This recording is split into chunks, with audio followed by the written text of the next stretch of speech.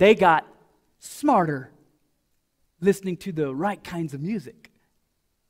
And we're going to get into that as well. A little more modern now. It's been taken into a studio. A little fuller. Hear all the elements? Source of occult power right there.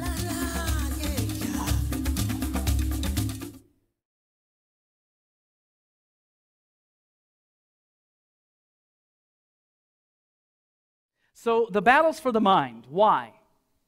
Because this is the control center. This battle is for the frontal lobe specifically, not just the mind in general. Now it's for the frontal lobe.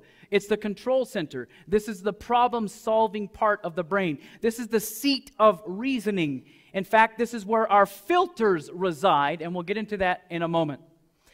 Now, in a frontal lobe that is functioning properly, beta waves are present and active, indicating active sound thinking. So if you have any incoming information, like right now, you want to be what's called in a, a beta brainwave.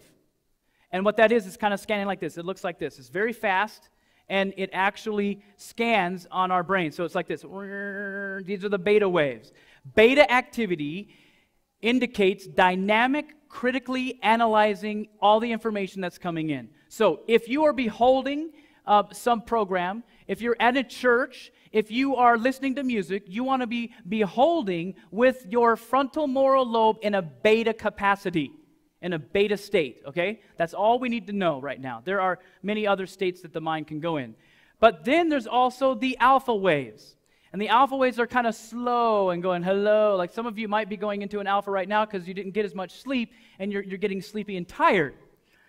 Alpha is great Alpha waves are like when you go to maybe nature, you sit outside by a babbling brook or something like that, and all of a sudden you do this. You go, and it just has this relaxing effect, and you kind of just sit there and relax. You're going into an alpha stage. Alpha is wonderful. And throughout a day, any given day, we're going to oscillate between beta brain activity and alpha brain activity. Now, why is this important in a music seminar? Because, friends, if we are critically analyzing incoming information, we can accept it as a Christian or we can reject it as a Christian. Amen? So if someone comes up to me and says, you know, the devil really loves you, and I'm in a beta uh, brain state, I'm going to go reject my filters dropped in here, my Christian filter, and I say, no, I reject that. That is not truth. Here's what the devil does with all types of different entertainments. He's learned that he can put us in an alpha state when the incoming information is happening. So we can sit here listening to our music that's just music. It's harmless, Christian. I don't really believe that all that stuff. I'm just enjoying the music. Puts us in an alpha state. We don't no longer critically analyze the incoming information, and it goes in and changes our characters. Did you guys catch that? So here's the whole point of this. If we have incoming information, in fact, what's awesome about like the difference between uh, Eastern meditation and yoga, sitting there going, om, om, om, what happens is you learn to put yourself in an alpha state. Therefore, getting rid of your reasoning and your logic, you get that, push it aside, and now we go, ah, oh, we're an alpha. And then the devil comes and whispers in our ears. The difference between that kind of meditation and meditating on the Word of God or even praying to God, you'll get the same exact relaxed, the studies have been done on all this, same exact relaxing effect, but you keep your brain intact, the, the, the beta activity. So the point is, anytime we have incoming information that could impact our soul, we need to be in a beta. And as we go through this, it's all going to become clear to you. Because there's certain elements in music that can put us in an alpha, and that can be a very dangerous thing. Is this making sense so far? Good. Now, when we're in an alpha state and that incoming information is happening, everything that comes in comes in without interpretation, without frontal lobe filtering. Our reasoning powers have been largely bypassed. Modern science has proven that illegal drugs damage the frontal lobe. So this is why people who go, oh man, I've never engaged in those kind of activities before. I've never done that before. I've never gone out and been with X amount of people that I shouldn't have been in an intimate way. I don't know what happened. Well, they took the drugs that inhibited the frontal lobe, and the limbic system took over, and they're like, man, I really want to do this. This is going to be great. And we make a bad choice. So illegal drugs, and none of us will argue with that. Some prescription drugs can actually damage or inhibit the frontal lobe. Be careful. Alcohol, caffeine, nicotine. This is where some people don't like me anymore. But alcohol, caffeine, caffeine. Uh, did I say, by the way, did I say caffeine?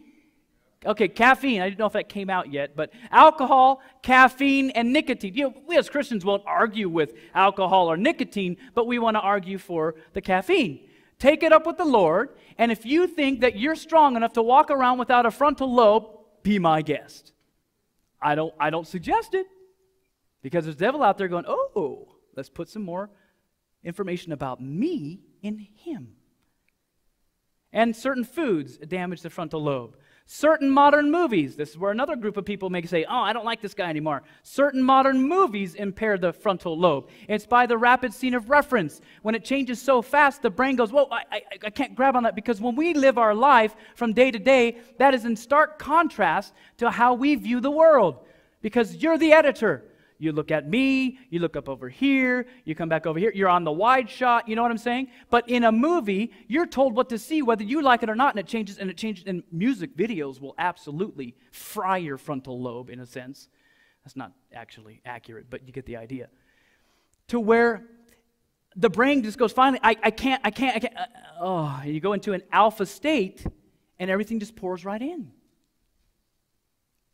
And of course, Many modern television programs impair the frontal lobe. And of course, we know that certain kinds of music, and that's why we're here. Now, the prefrontal cortex, and we'll get out of the technical stuff in just a moment.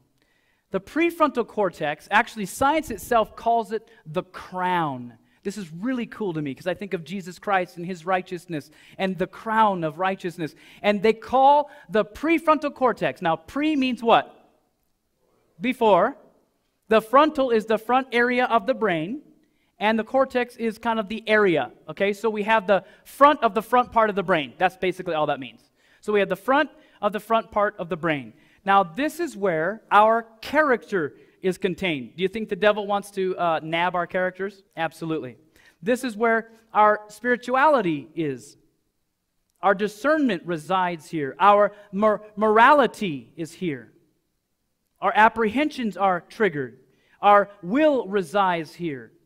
This is where we choose, this is where we obey, and this is where we worship. And specifically, this is what the devil is after. Specifically, this is the front part of the brain that God is after. Why? Because he wants to change our character into something beautiful. He wants us to be filled with spirituality, have discernment, be upright, moral people.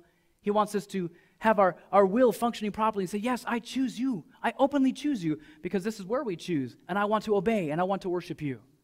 So the prefrontal cortex is indeed the, the specific area that they're both after. Now, let's put it all together. What happens is we have these five streams, if you will. Five different streams, the five senses, and everything is coming in from these five senses, and all of it is being recorded perfectly. I don't know if you knew that or not.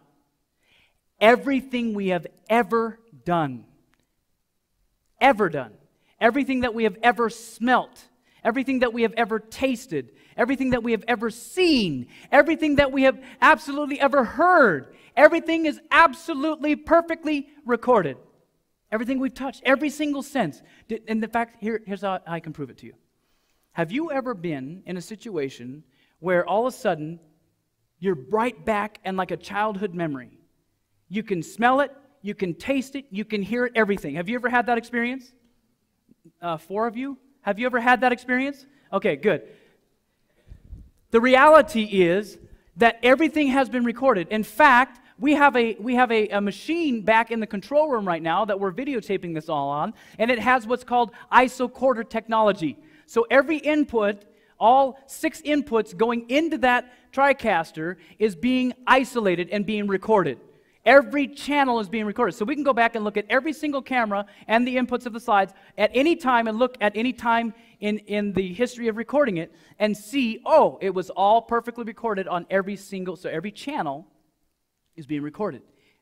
And God did it with one mind. And we have to have these big boxes and all this stuff, and God stuck it into one little head. Talk about an opus. Talk about a masterpiece, amen? And we, many times, are messing with the masterpiece. So think of it this way everything that we've ever said, everything we've ever touched, everything that we've ever done has all been recorded. And so the question here is how much junk have we been recording that impacts our characters? Or how much good have we been recording that impacts our characters, right? Right. All of it is recorded.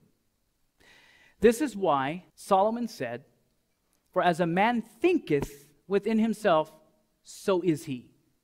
You see, the things that go in begin to change our thinking, and then so are we. Newsweek had an interesting article back in 2000 Music in the Brain. Scientists are finding that the human brain is pre wired for music. The temporal lobes of the brain just behind the ears act as the music center. The brain seems to be a sponge for the music, and like a sponge in water, is changed by it. This is interesting. David Merrill's high school science fair project. The 16 year old David Merrill thought that the loud sounds of hard rock music must have a bad effect on its devoted fans and came up with a way to test that damage. Merrill got 72 mice divided them into three groups one to test a mouse's response to hard rock music, another to the music of Mozart, and a control group that wouldn't listen to any music at all. Three different groups, right? Two listening to music, one not. The young visionary got all the mice accustomed to living in aquariums in his basement, then started playing music about 10 hours a day. Merrill put each mouse through a maze three times a week that originally had taken the mice an average of 10 minutes to complete. So they all had about the exact same uh, time getting through the maze. Put a little bit of cheese at the end, run them through the maze, and they finally figured out, oh, here, here's where it is. I smelt it, and yay, I got my reward. Took about 10 minutes. Now, over time, the 24 control group mice managed to cut about five minutes from their maze completion time. So, what that is, the ones that didn't listen to music, they got twice as fast at going through the maze because they had learned the route and they were able to retain the information. Now, this is very powerful. The Mozart listening mice cut their time back eight and a half minutes from 10 minutes to a minute and a half. They got smarter listening to the right kinds of music. And we're going to get into that as well. However, the hard rock mice added 20 minutes to their time. Yeah, your jaws should be on the floor. Little mice with little tiny pea brains became smarter or more retarded, if you will. They couldn't figure it out. Like, whoa, man, how do we get to that cheese? I know I can smell it. Like, I don't know, but man, this music's cool. Yeah. And friends, it does the same thing even more profoundly to the human brain. And people say, oh, music just doesn't affect you. Oh, yes, it does. Whether you realize it or not doesn't change whether music changes us. In fact, they went later and they, not, not this uh, particular experiment, um, but they, uh, scientists said, this is no way. No. So uh, scientists across the country, after this was released, released on the Associated Press, they went around the country and said, This is baloney. We're going to prove this wrong. And so they, they went and did it, and they had the exact same results. And then they, because they're, they're a lab, they opened up the little brains, and they found that there was unnatural, harmful branching in the brain. And it even shrunk and it atrophied. So the hard rock mice added 20 minutes to their time, making their time 300% worse than their original average. Need we say more? Well, maybe we do. Merrill told the Associated Press that he attempted the experiment the year before, allowing the mice to live in different groups to let them all live together. Quote, I had to cut my project short because all the hard rock mice killed each other. Um, none of the classical mice did that. Okay, so if little tiny mice, right, little tiny mice with little tiny pea brains, if their character can be changed from, hey, where's the cheese to, I'm going to kill you, what do you think is going to happen to us humans? Oh, those are mice, Christian. Okay, well, let's talk about a human.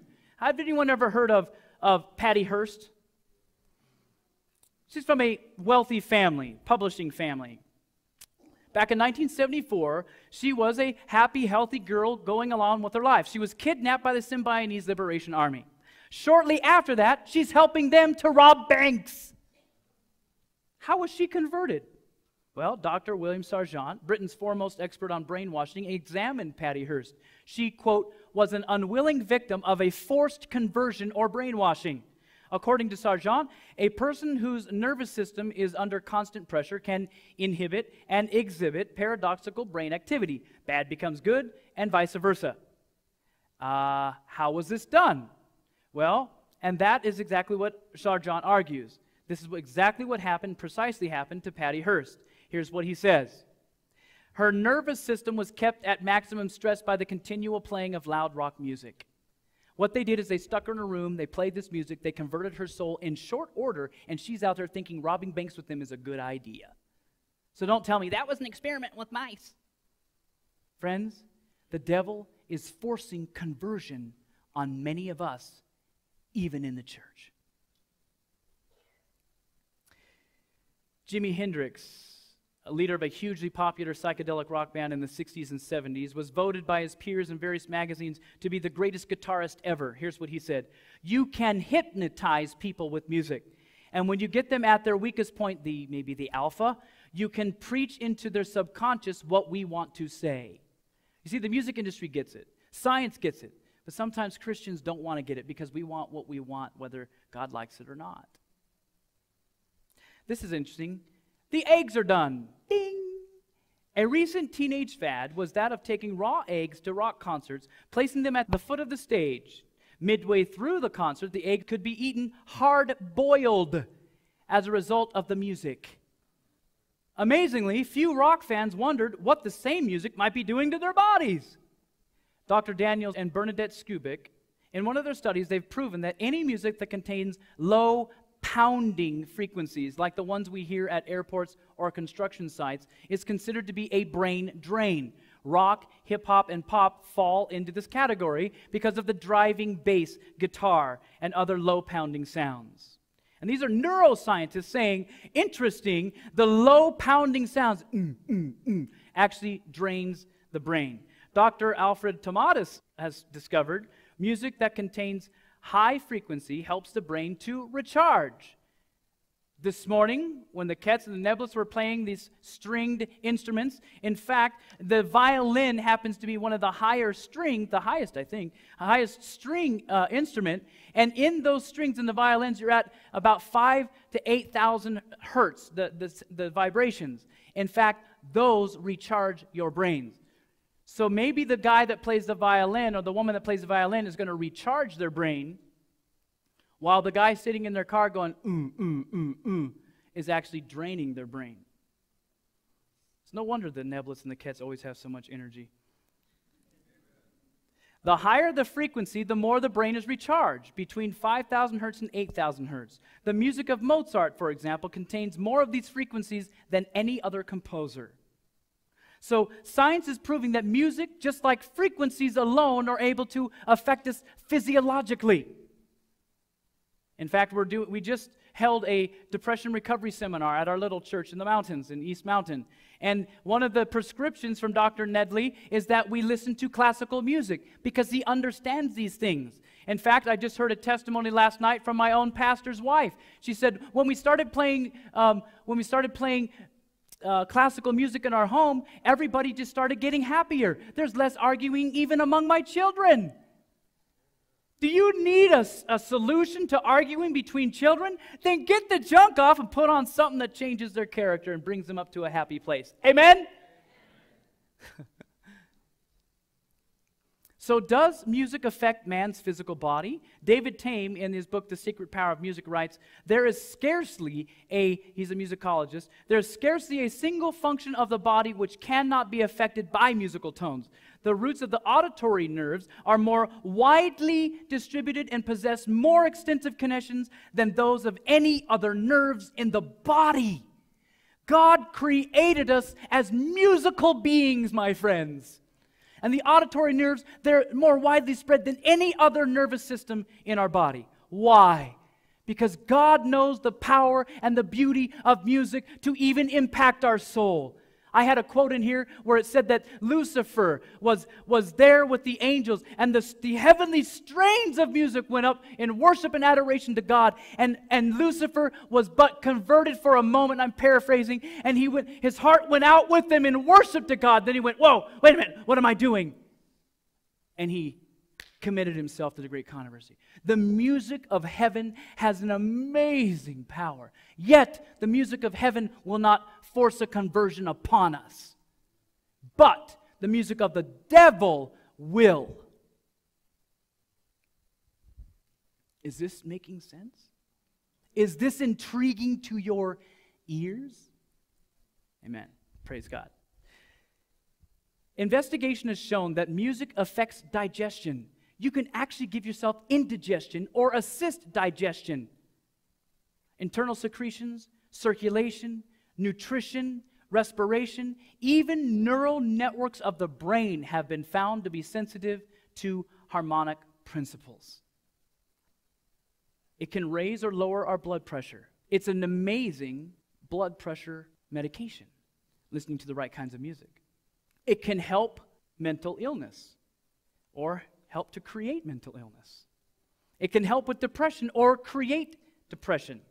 It can help with retardation. In fact, they have so many studies out there now. It's one of the, the latest branches of working with the human mind is using music.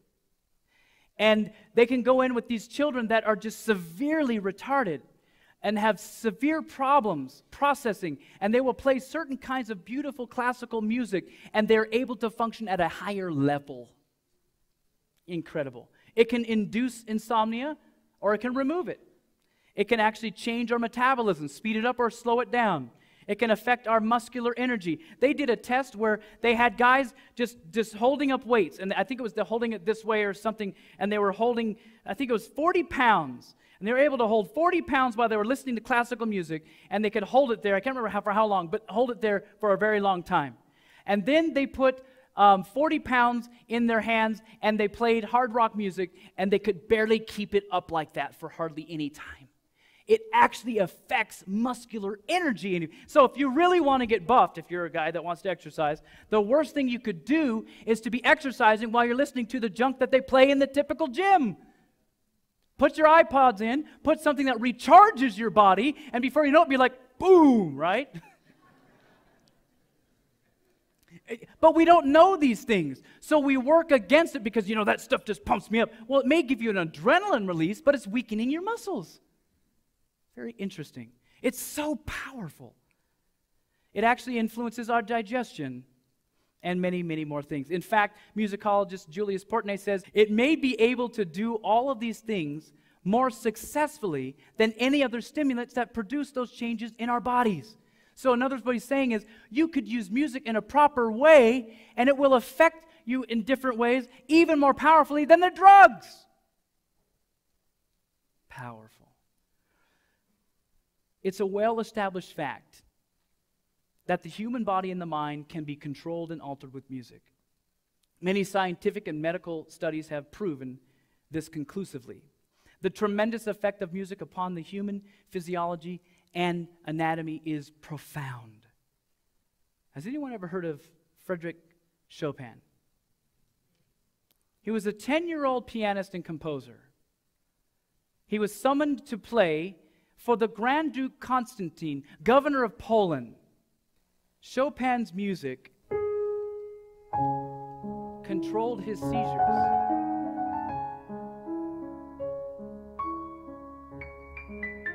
The cure would last for but a time, and then he would call young Chopin again when the musical medicine wore off.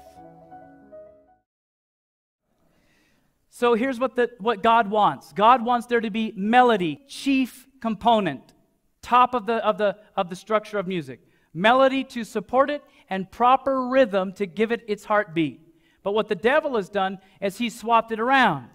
He's put the rhythm at the forefront, harmony, and then the melody is the least of the components now.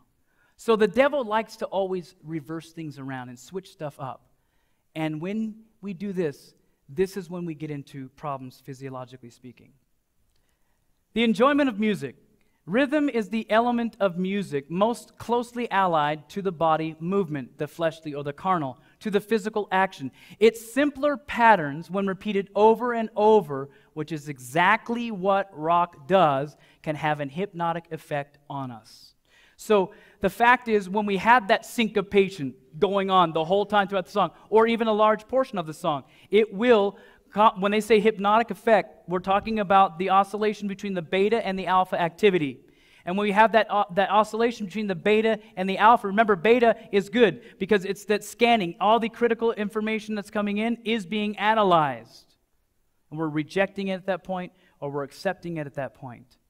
If we're in an alpha brain pattern, which is what uh, rock and roll and these other heavy, syncopated, rhythmic, structured music uh, pieces are, they actually become a problem for the, the neurological um, mind, uh, the physiological, and of course, spiritual. So the problem is we have to be very careful because the devil is out there and he's creating music that takes away that frontal lobe and producing a hypnotic type effect and we are being converted by his theology. The power of sound. They have also shown that driving drum rhythms in excess of three to four beats per second will put the brain into a state of stress.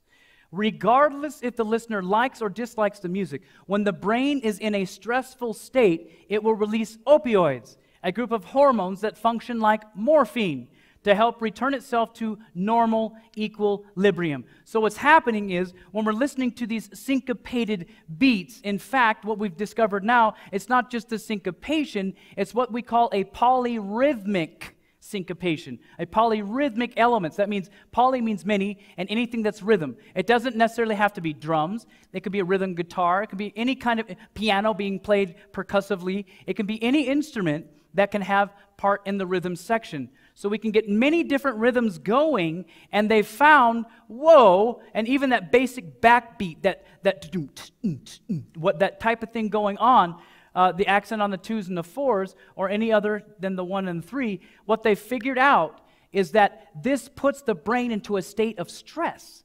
And the, the hemispheres begin, of our brain begin to be agitated and, and the brain's going, Whoa, we're being attacked or we're being assaulted. We need to release the hounds, if you will, release the morphine. And so we hit, get a morphine hit, and we're, oh, and we're like, Wow, man, I really like this music. And so we can elicit a physiological effect, a release of hormone that actually causes us to have a morphine hit. Oh, but music doesn't matter, it's just the lyrics. Um, no. Right? Let's read on though. There's more to this. The, these opioids, when experienced often enough, can be addicting, and the listener seeks for the high again. This is why the listeners tend to move from less to harder music. So it starts out with soft rock, and then it goes to rock, and then it goes to hard rock, and then it goes to insanity rock. Because why? We're not getting that, that hit anymore. It's just like a smoker. They have to smoke, smoke more and more and more, or an alcoholic have to drink more and more and more to get the same effect. Sometimes we're not even really loving the music, but we like what it's doing to us physiologically. We're becoming drug addicts. I mean, that's a pretty powerful statement to say, but physiologically, that's what's happening. These steady drum rhythms release in the body gonadotrophins, which are sex hormones, which enhance sexual arousal. Okay, so let's think this through for a moment. I happen to have young boys. There's, I have one boy, he's 13. He's going to start getting into those hormonal years, right? Now, is it wrong to go through the hormonal years? No, God wants a boy to become a man. But when a boy becomes a man, lots of hormone, and, a, and a, a, girl starts to become a woman, lots of hormonal things happen. And sometimes their hormones become their enemy. Are you with me? And before you know it, they want to go kissy, kissy, touchy, touchy, and they shouldn't because they're not what? Married. Amen? So, with a healthy frontal lobe intact, critically analyzing the situations, we don't go into nightclubs as young people that are hormone laden. Right? Why would we not do that? Because we could go to a club where they're playing all this music that stimulates the release of morphine, uh, and it puts me in an alpha pattern. Hey, I'll do whatever. And I release the gonadotrophins. I think I want to do something tonight. Would that be a good place for a young Christian person to go? Are they going to win the battle? Nope. But guess what, moms and dads? We'll let them have a nightclub in their earbuds. Hello? I hope that one just went poof. We can have we can have a 10,000 songs right on a little tiny iPhone. 10,000 songs that are releasing sex hormones. And, and it's hard enough to keep our kids on the straight and narrow while they're going through those years. Right? So now we let them listen to things that work against them, that enhance all this stuff that they, with a healthy frontal moral lobe, they're suppressing and saying, no, it's not time, but someday I'll be with my wife or with my husband and I'll have that wonderful time. You see, music could actually be one of the greatest curses for us if we're listening to the wrong stuff. Is this making sense?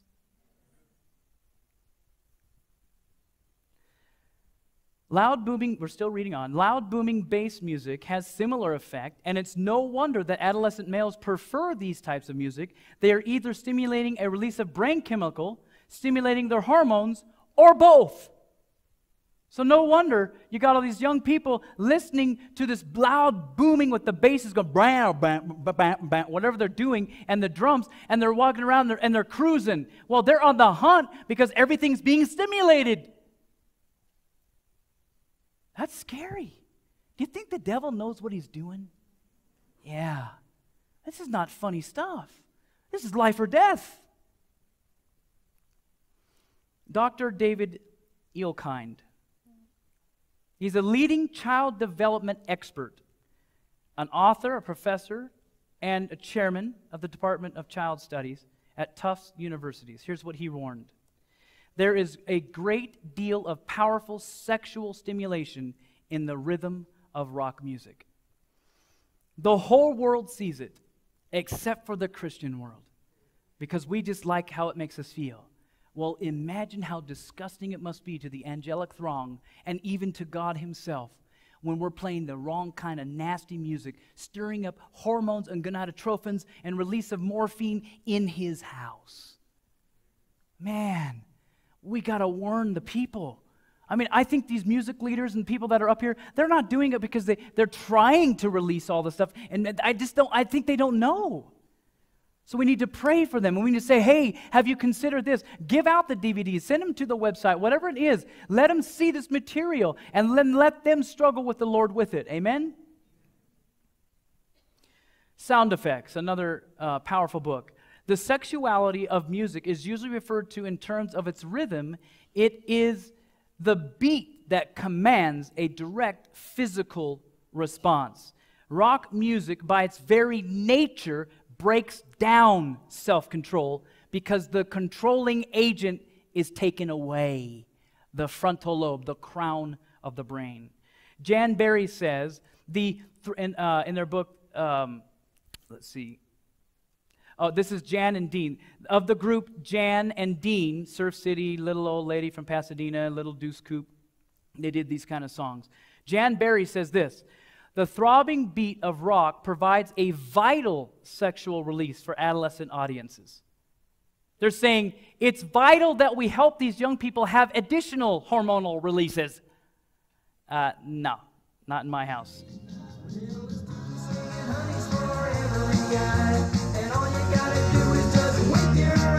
Now listen to this music. Right? Now, how is that music compared to what we're hearing today? It's like tame, it's like nothing. But that alone, they're saying what we do provides the essential releases. And that's nothing compared to what we have today. But even that right there, as mellow, mellow as that is, it has the same response. Steven Tyler of Aerosmith said this Rock music is the strongest drug in the world. He knows a little bit about music as well. In Us Magazine, in an article entitled The Little Known Things About Me, little, excuse me, The Little Known Things About Me, he says, quote, Sometimes I dance with the devil. No, thank you. Donnie Brewer, drummer for the 1970s uh, Grand Funk Band, says this We take kids away from their parents and their environment to where the only reality is the rhythm and the beat. So we have the rhythm and the beat. He's saying we actually take away kids from their parents with the rhythm and the beat. Why? Because it has its own message and it actually stirs rebellion within the listener. And this is the colossal, head banging, crazy music that they actually created.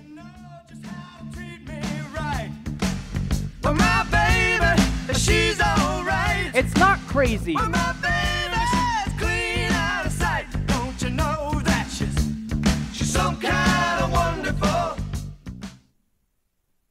And they're saying, just with that alone, they're stealing kids away from their parents.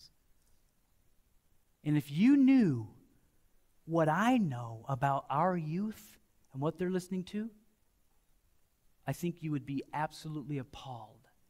I go to academies all over the world. I go to uh, youth conferences and speak and share this kind of information. And I have young people coming out of the woodwork saying, Man, some of that stuff you play, that's nothing. You ought to hear what. And all of a sudden, my eyeballs go like this, and they let me hear on their iPods what they've been listening to, and their parents don't even know about it. No wonder we're having problems with, with infidelity in our churches and kids getting involved in, in things that are inappropriate for their age, sexually speaking, because they're being taught this is what you need to do and how you need to be doing it, and you need to do it now. And we will explore all of this as we continue. Almost done. King George I, one shining example of the power of order in music is King George I of England. King George had problems with memory loss and stress. He read from the Bible the story of King Saul and recognized that Saul had experienced the same type of problems that he was experiencing. The king recognized that Saul overcame his problems by using music. Now, I don't know if you knew this or not. With this in mind, King George asked George Frederick Handel to write some special music for him that would help him in the same way that music helped Saul. So Handel wrote his water music for this purpose.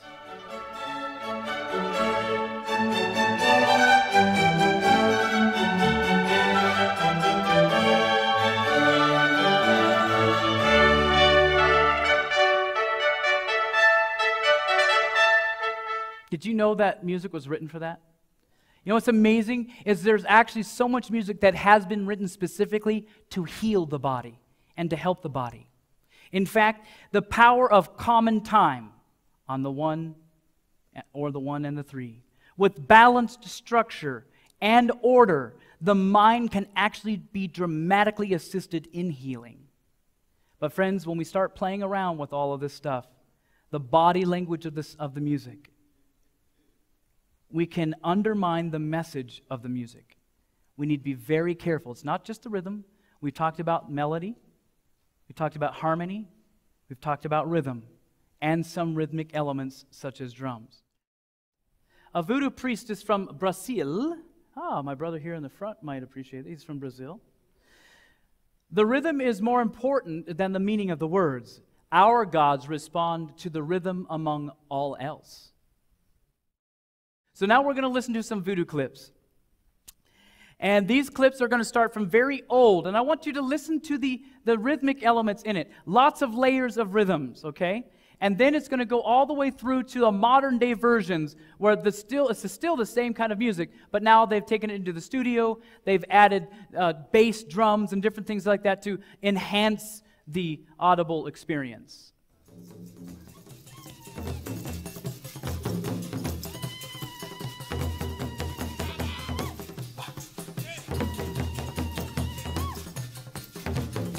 Even the way the voice is being sung, that can be a rhythmic element in all of that.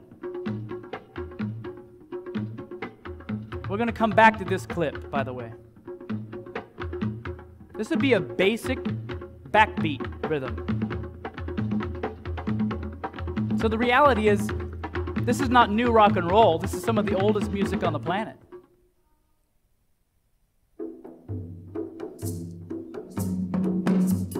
The little shakers, little glass ding, ding, ding.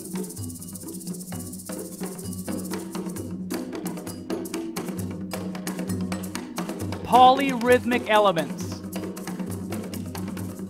It just sounds more tribal compared to what we listen to.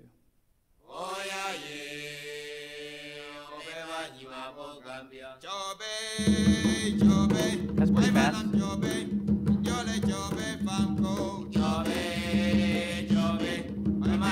Even the way da da da da da da da da it's very rhythmic.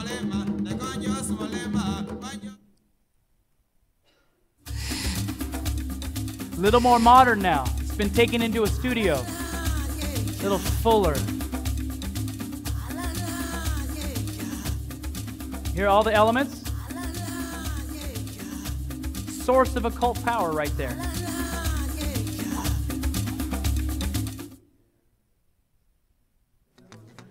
This is even more modern. Now we got a guitar in there, rhythm guitar.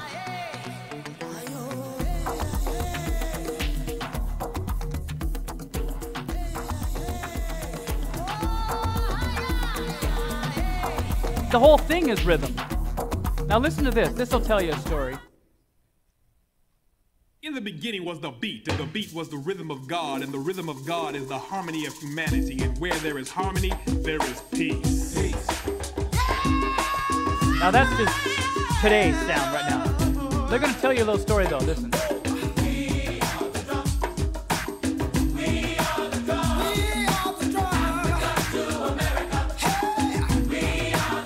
Africa to America, we are the drums.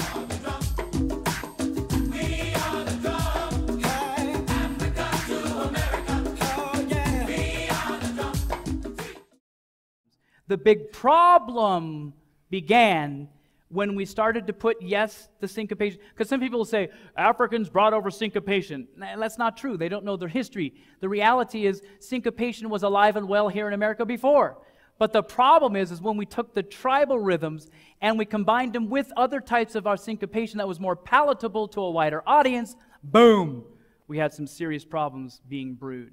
In fact, this just laid the groundwork for the 30s, 40s, and eventually into the age of rock and roll, the 50s.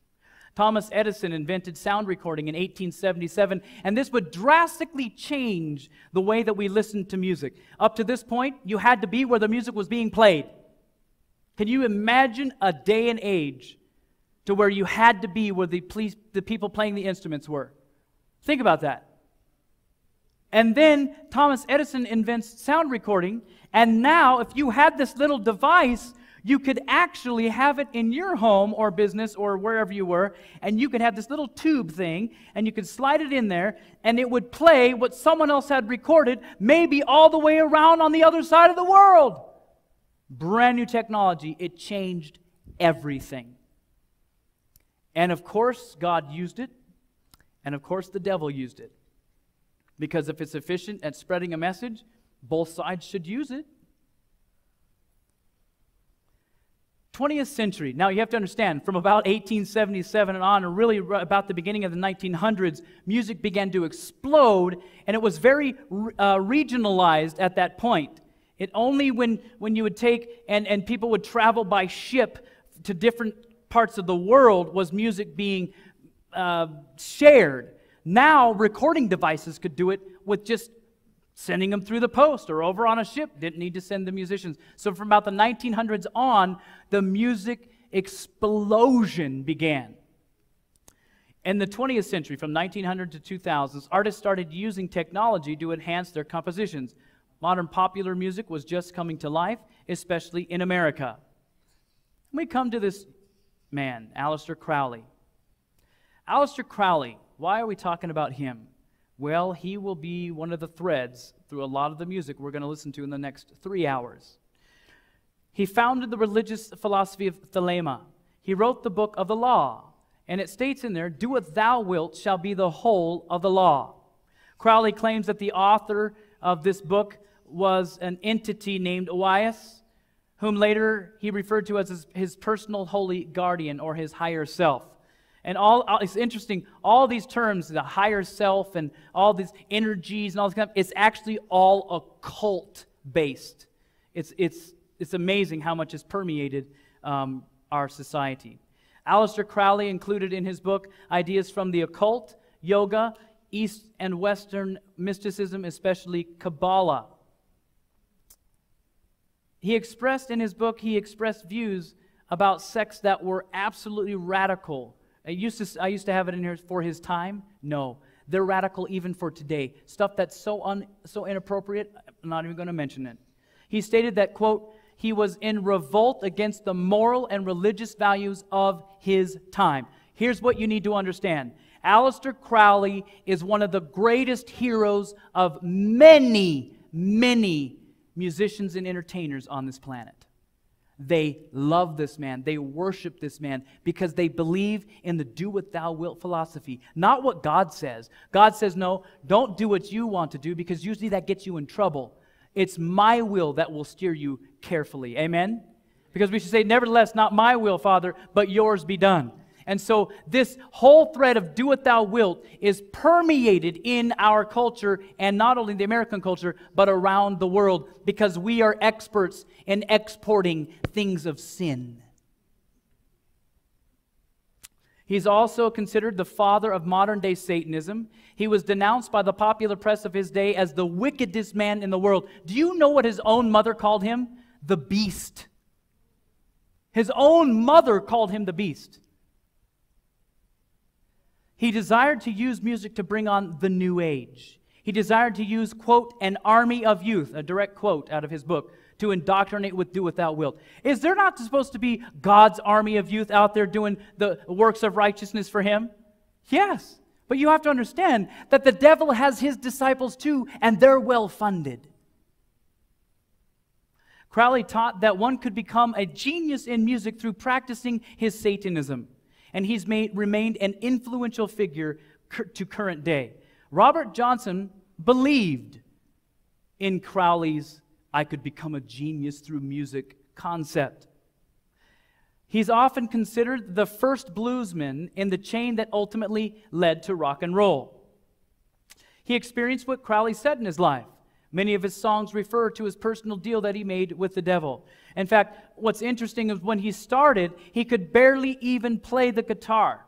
And he would go and hang out with some of these, these old cats that would hang out and they would play this amazing kind of blues. It wasn't even quite blues, it was more of a ragtime type of song. And blues was just starting to develop. And he couldn't play. And they'd, they'd chase him out of the clubs and say, Get out of here. And he'd go pick up their guitars and start playing. And the guy just wasn't good at it. He took off, was gone for about nine months. He went down and made a deal with the devil. He came back within nine months and started to revolutionize the music industry. The devil can be efficient too. And this is one of his songs Me and the devil walking side by side. Me and the devil was walking side by side. You hear that? Dun, dun, dun.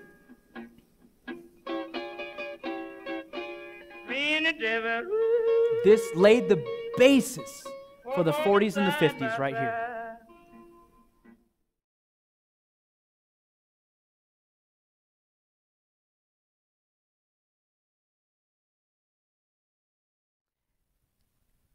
And at the same time, the Beatles, the Rolling Stones, came into town.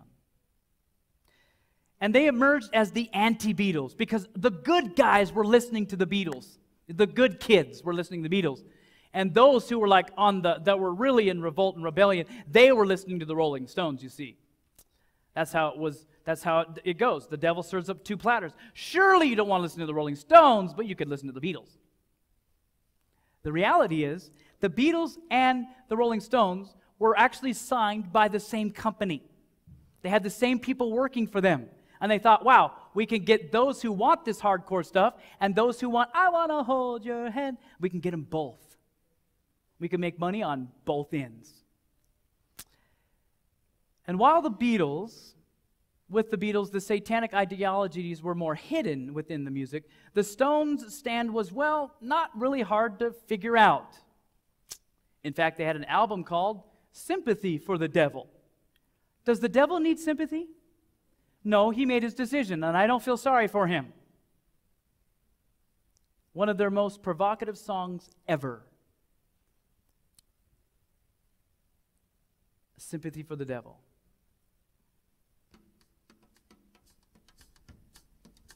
Listen to that booty.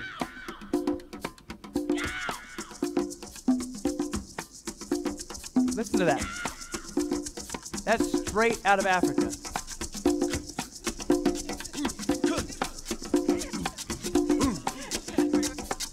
Please allow me to introduce myself.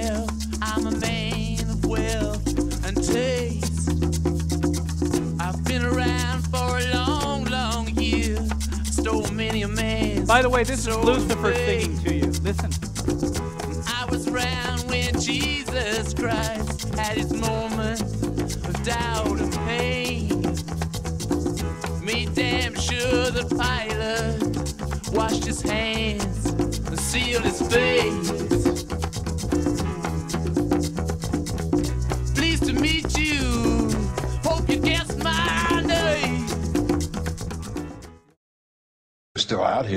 Songs. You know, you're still on tour. I do, but I don't take it for granted. Why do you still do it? Why are you still out here? Well, it goes back to the destiny thing. I mean, I made a bargain with it, you know, a long time ago, and I'm holding up my end What was your bargain? to get where um, I am now. Sh- should I ask who you made the bargain with, with, with, with, with, you know, with the chief, uh, chief commander, On this earth? and in this earth, and in, uh, and then in the world we can't see.